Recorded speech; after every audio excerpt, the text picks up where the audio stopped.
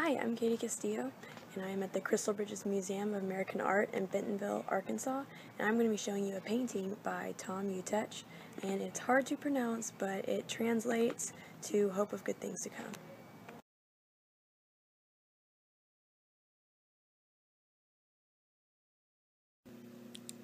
So here is the beautiful painting, and again, I'll try to pronounce it if I know I'm going to butcher it.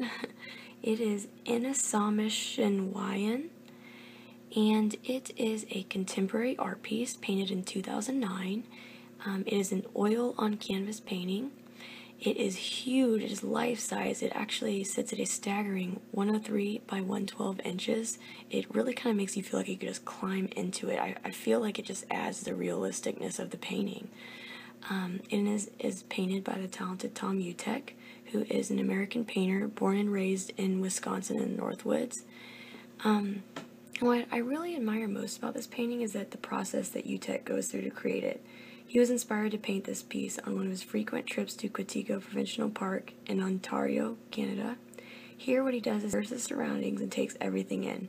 He notices every little detail around him, and when he returns back to his studio, he uses only his memory. He sits down and stares at his blank canvas and recreates that same peaceful place.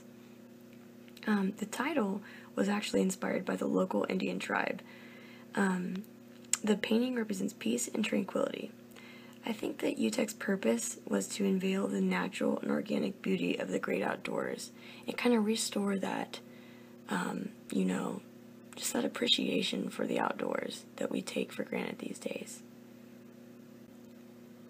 There are several artistic techniques that Uttech used to make this painting really come alive when you observe it. Uttech uses a mixture of warm and cool colors to express the calm setting along with the excitement of all the different species of birds. Uttech does a great job of showing atmospheric perspective with the color hue and the circular patterns around the setting sun. The sunset is the focal point of the painting. With the vibrant colors that the sunset possesses, it immediately draws my eye to the center, making that sunset the focal point. Uttech also uses linear perspective to make the sunset appear far away from us, beyond the horizon. The dark earthy colors in the painting, along with the absence of leaves on a few of the trees, shows that it must be a cool autumn day. The figures in the painting are also very significant. This painting has many different species of birds flocking above the horizon to far below it. If you look closely, you will notice them in flight while the other animals are sitting still, fixed in one spot and observing the majestic horizon. There's everything from geese to ducks to hummingbirds.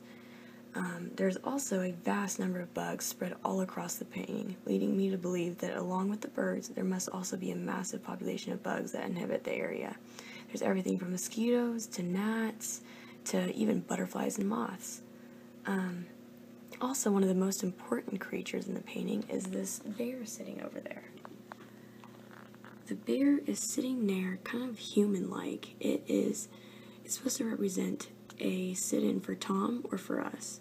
And actually, up until recently, on one of my recent trips to Crystal Bridges observing this painting, um, a man told me that actually what he's looking at is a bear right there, which I thought was pretty neat.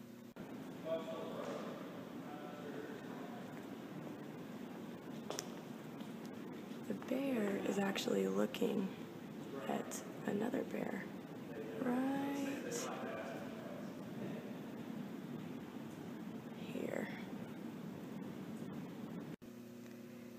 Animals in this painting bring a sense of power to the life on Earth and kind of bring power to the animal kingdom. They bring human emotion to the animal kingdom.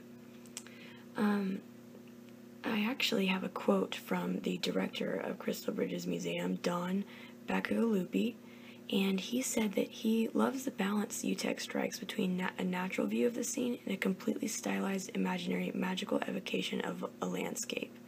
I loved that quote, so I wanted to put that in there. Um, there's a heavy influence of the naturalistic perspective in this painting because everything seems so real and closely resembles what the scene would look like and what the animals would really look like.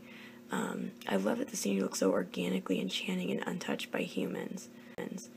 Um, you can also see some classical influences in this painting, like the geometric grid.